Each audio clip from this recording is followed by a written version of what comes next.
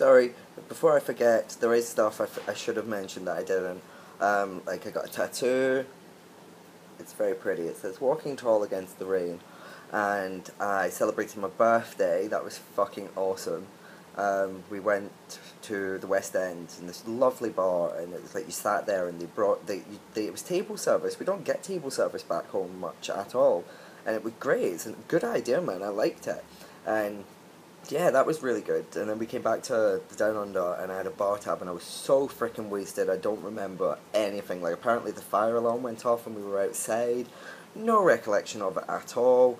And I ended up falling asleep in the TV room and woke up at half four, and it was like light outside and dead. So I had a very entertaining birthday. Um, I went to Byron Bay for a few days, which was really nice. I got to stand at like the most easternly point in Australia. It was really cool, man. I loved it. And yeah, we all fell asleep on the beach and went like, well, Will went red. I got quite tanned. And we went boogie boarding and like getting thrown about by the waves. It was it was fucking top notch shit, man.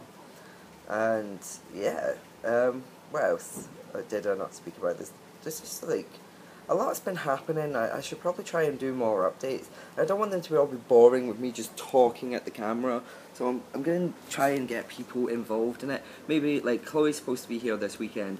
I'll try and have maybe like some banter with her on camera or something, or Simone or someone, just so you can have a laugh. Because I'm definitely having a laugh. So yeah. Don't think I know. Uh, I- I've got anything else that I need to speak about.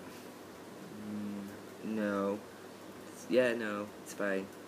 But yeah, thanks.